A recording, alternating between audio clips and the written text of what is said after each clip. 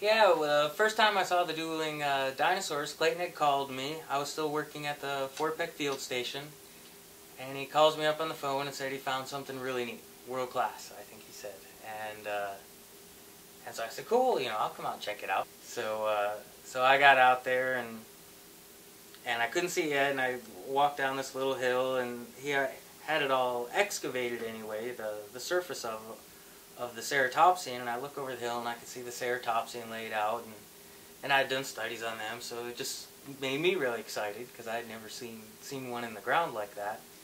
And so I walk down and walk all around it, check out the head and, and the chest and the tail and the feet, and told Clayton, I was like, wow, this is just awesome. You know, I couldn't believe, uh, couldn't believe you found something like that.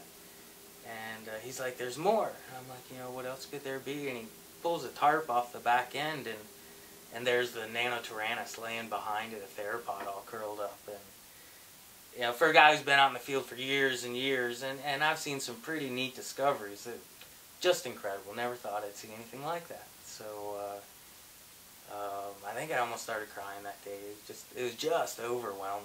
I believe that that the commercial end and the scientific end, you know, both contribute a lot um, to uh, to the learning of dinosaurs. I think someday if they all could work together, what what we could know about dinosaurs, at least from our country.